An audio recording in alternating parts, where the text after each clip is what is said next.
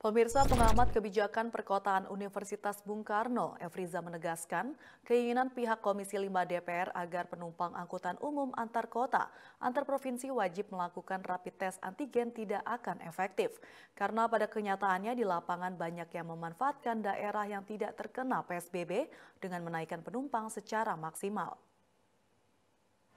Kalau dilihat perlu atau tidaknya kemarin sudah coba dilakukan oleh jasa marga dengan cara yang uh, dirandom atau dipilih secara acak. Tapi kan kembali lagi penerapan ini apakah ini akan memakan biaya? Dan apakah ini akan sesuai untuk masyarakat? Atau jangan-jangan ini malah membuat ribet masyarakat karena di jalan akan jadi macet Pengamat Kebijakan Perkotaan Universitas Bung Karno atau UBK, Efriza menegaskan, keinginan pihak Komisi 5 DPR agar penumpang angkutan umum antar kota, antar provinsi wajib melakukan rapid test antigen tidak akan efektif. Karena pada kenyataannya di lapangan banyak yang memanfaatkan daerah yang tidak terkena PSBB dengan menaikkan penumpang secara maksimal. Efriza mengatakan, kewajiban melakukan rapid test antigen sebelumnya sudah pernah dilakukan pihak jasa marga, namun pada hasilnya tidak efektif dilakukan pada penumpang yang memilih transportasi bus.